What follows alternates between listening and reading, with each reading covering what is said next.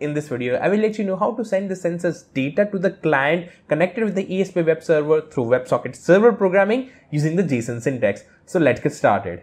For those who are new to my channel, let me tell you that I am currently running a series of making our own local area network based home automation system from scratch using the ESP32 and the Node MCU board. And during this journey, we'll be learning about WebSocket server, web server, JavaScript, HTML, JSON, and stuff like that. So if you're interested in making your own local area network based home automation system, or maybe if you're interested in any of the topic which I discussed just now, make sure you subscribe the channel so you don't miss out any of the episode.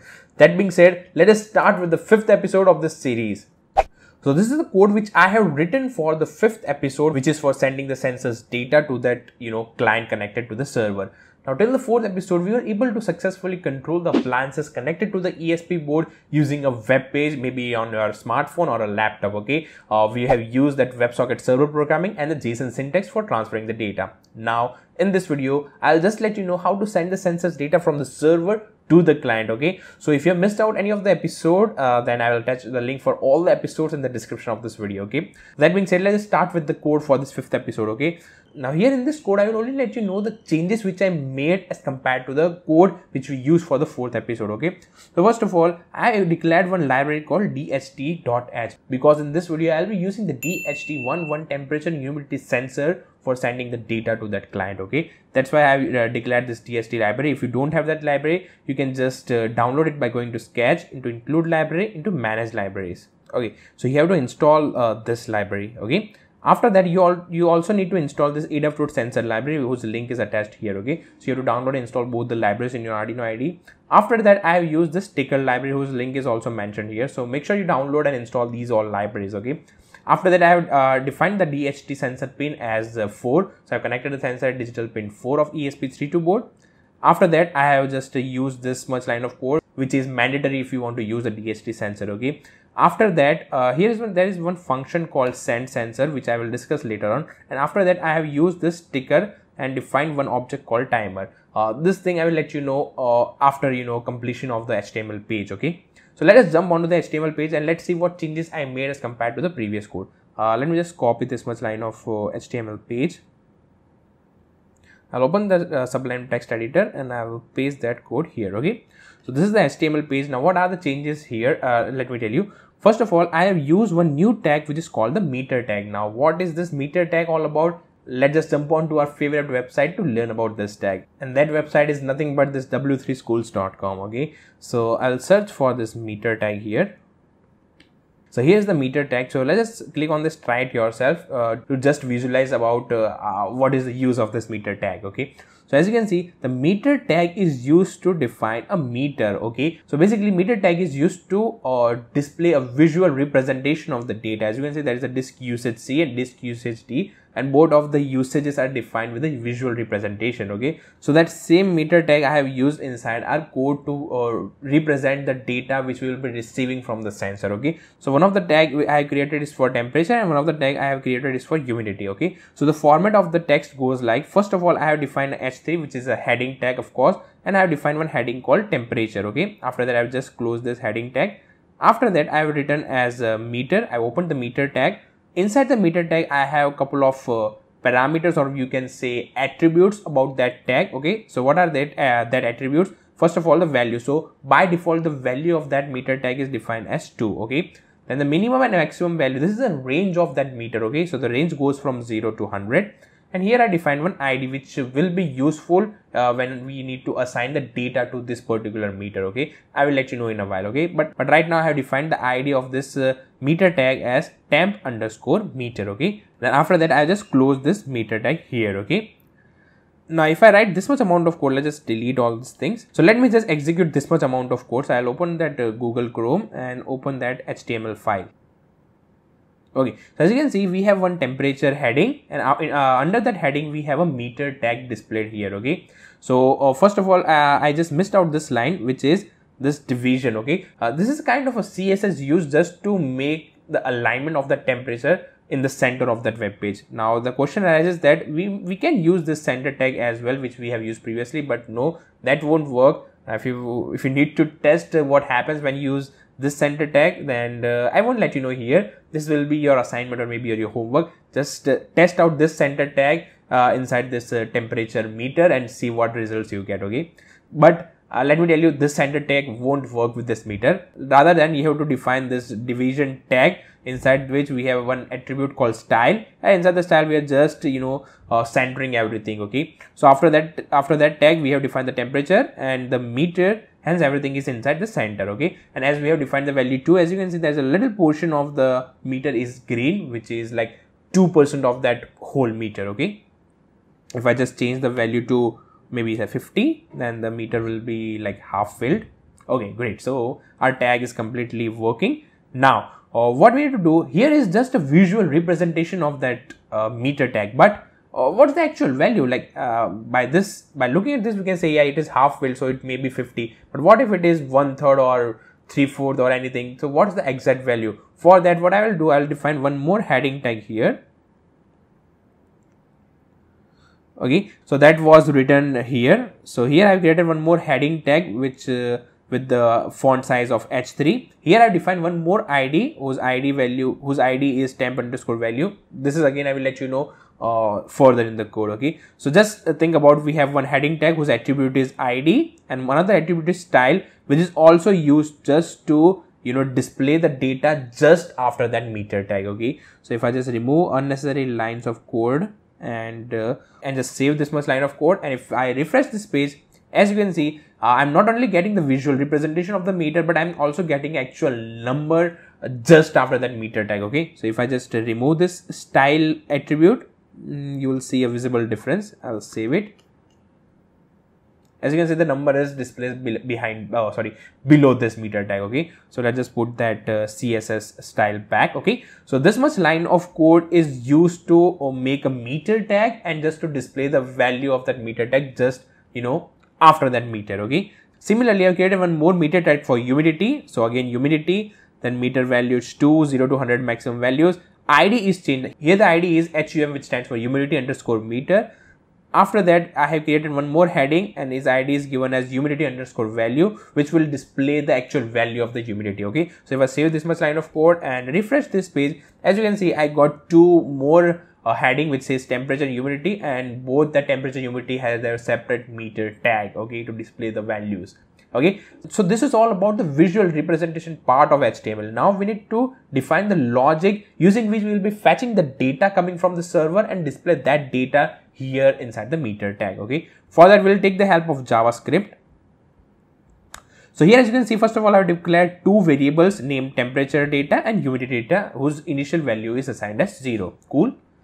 After that here is one new function uh, which we haven't used in the previous episode which is connection dot on message okay? So this function will be called whenever any new data is coming from the server side okay? So as soon as we get any data that data is saved inside this event and we can you know fetch that data by using the dot representation. So if i write event dot data i can get the full data received from the server side okay? So i just saved that full data inside one new variable called full data and after that i'm just printing uh, that full data using the console.log function. So this is basically a serial monitor which i have discussed previously.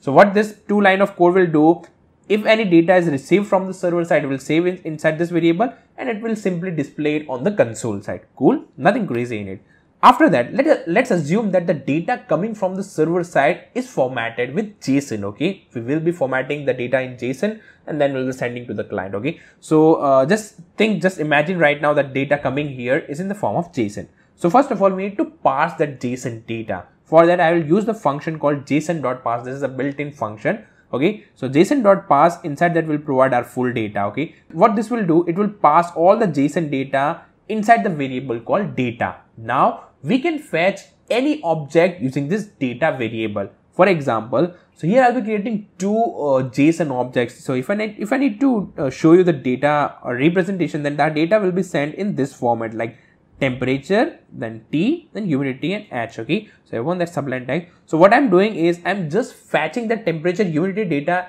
using the dot representation. Okay. So if I write data dot temp, temp is nothing but this uh, uh first JSON object. Okay using this much uh, line of code we can get the temperature data which is T and that will be saved inside temp underscore data. Similarly, I can get the data of that HUM which is humidity uh, value by just writing data.hum. Okay, make sure the thing which you're writing here uh, must be matched with the JSON object. Okay, it is case sensitive, so make sure you write it very properly. Okay, so by writing data.hum or HUM, I can get the actual humidity value data which will send from the server to the client. Okay, so this is how we have successfully saved the temperature data and humidity data in the separate variables.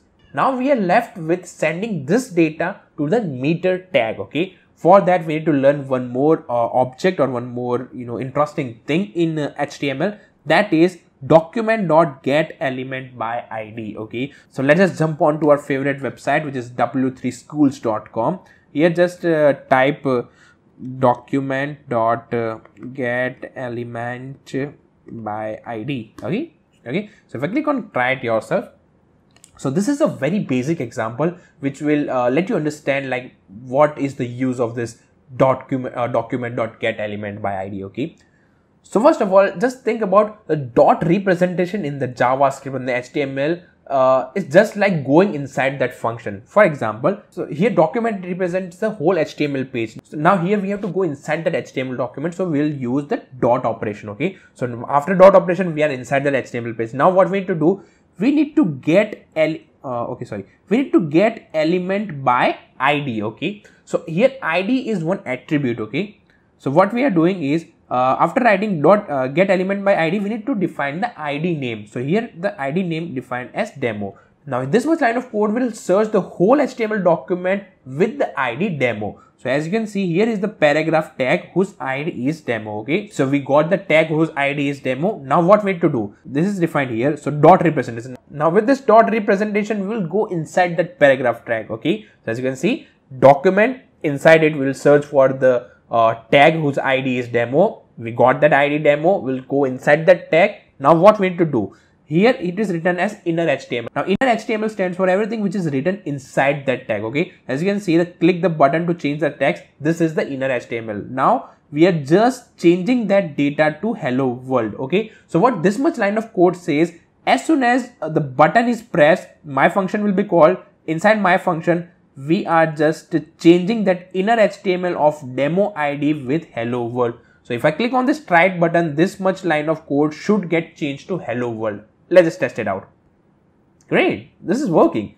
So this is the use of document dot get element by id dot inner html okay so dot inner html is the one thing which we'll be using inside the code so let me just tell you so if you see look at the second line of the code which is same which we have seen just now. What we are doing is we have just written as document dot. That means we are going inside the document. Get element by id temperature underscore value. Let us see which tag has this id so temperature underscore value it is the id of h3 okay cool. What we have to do we are going inside the h3 tag.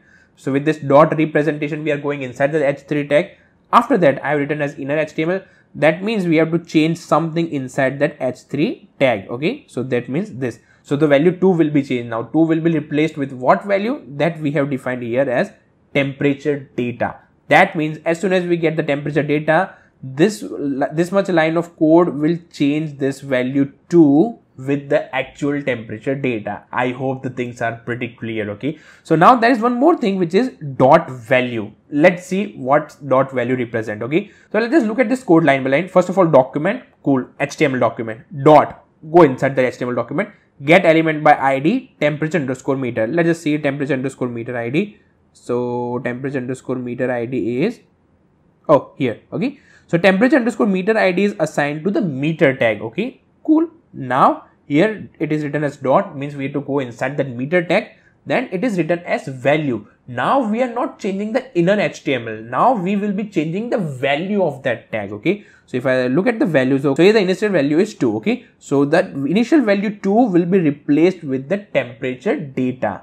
Getting my point? So as soon as we receive the temperature data, this line of code will replace the value of the meter tag while the second line of code will replace the actual data represented uh, after that meter tag. Okay? So this is the beauty of this document.get element by id so we are just you know getting the data throwing that data to the html page according to their ids okay? So this is the beauty or this is the most useful thing about the id in this html document okay? Similarly we are just sending the hum data to the hum meter and uh, hum data to the hum value okay? This is same as we have discussed uh, before with the temperature value so this is all about the html page uh, just to send the census data to that you know client side okay so yeah this is all about the html page now let's see how we will be sending the data uh, collected by our esp board to the client formatted with json okay so let's start with the setup part of the code so as you can see, I have written as dht.begin. This is the mandatory function to initialize the dht sensor. Okay.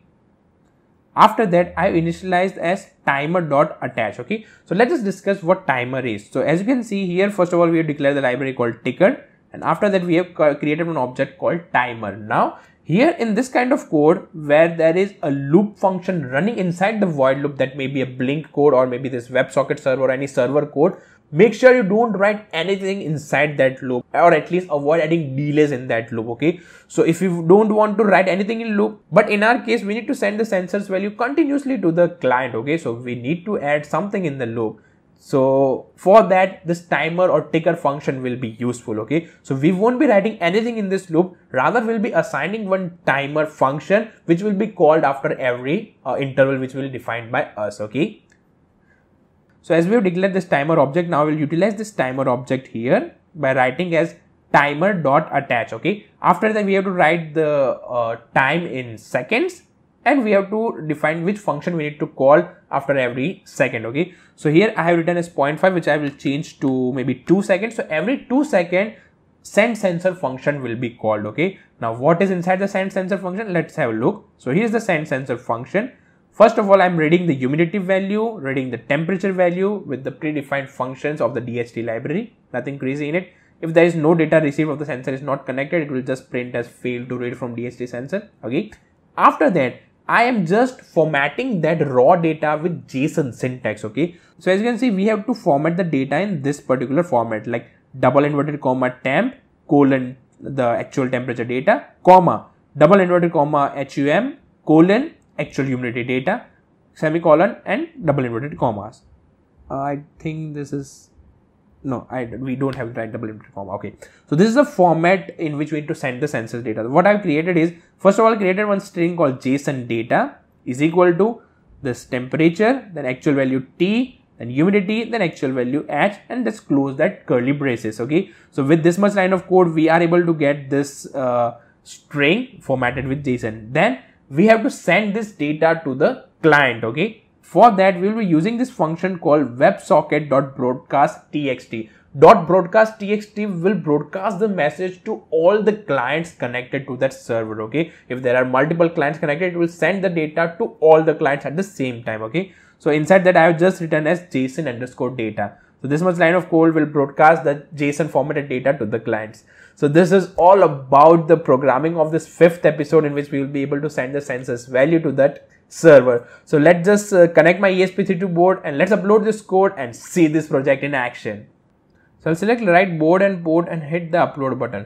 So till the code gets uploaded, uh, make sure you like this video if you are learning something new or if you are finding this video interesting. Okay, do like the video because by liking the video, the YouTube algorithm will come to know that this video is good and worth watching. Hence, it will try to promote this video with other viewers as well. Okay, so make sure you like this video. Okay, so the code is successfully uploaded. Let's open the serial monitor and let me just reset this board. Okay, so mDNS responder started. Let me just open the web browser. Make sure you are connected with the web server created by your ESP board okay cool. So uh, in the new tab i will open uh, esp.local let's just minimize this? Okay great. So as you can see i'm getting the temperature value as 25.5 and the humidity value as 44 which is uh, represented with the meter tag as well okay? So here in the uh, serial monitor you can see the same data is received here. Now if i open the console you can see that same data on the console as well okay? So here is the same data and, uh, and, and simultaneously you can also control the LEDs connected to that uh, ESP board without any you know problem okay? So everything is real time. Everything is like really very fast real time. We are getting the census data. We are able to send the data to the server and client and yeah everything is connected and everything is sending the data to each other at the same time. So this is the beauty of WebSocket server programming okay So yeah, this is it about our whole series. So we are able to control the appliances. We are able to, uh, you know, monitor the sensors data. So here for the demo purpose, I have just used two LEDs and two sensors data, but you can attach multiple sensors data. You can attach multiple appliances and create your own home automation system from scratch. So yeah, this was aim of our series. Now, one thing which I need to discuss is this particular code with the DHT sensor won't work with Node MCU I really don't know why, but when I upload the code, I'm getting the error. The ESP, the Node MCU board is constantly getting resetted with the DHT sensor. But when I attach any other sensor, just like the proximity sensor, the code was working with the Node MCU board as well. Let me just show you the demo. So here's the code which I have modified for Node MCU board just to make it compatible with the proximity sensor attached to it. So I just changed the HTML code as well as the actual server code as well. Okay. So let me just select the right board and port and hit the upload button. Okay, so the code is successfully uploaded. Let's just open the serial monitor and let me just reset this board. Let me open the web browser. Make sure your computer is connected with the access point created by ESP board. Okay, uh, let us open that uh, web page. Cool. As you can see, here is one web page with two LED buttons and only one meter tag on it because I modified this code uh, just for proximity sensor to be connected with the Node MCU board. Okay. So currently it is showing 1 on the meter and on the serial monitor as well. But as soon as I bring my hand close to the sensor, as you can see the value goes to 0, 1, 0, 1, 0, 1, 0. Okay.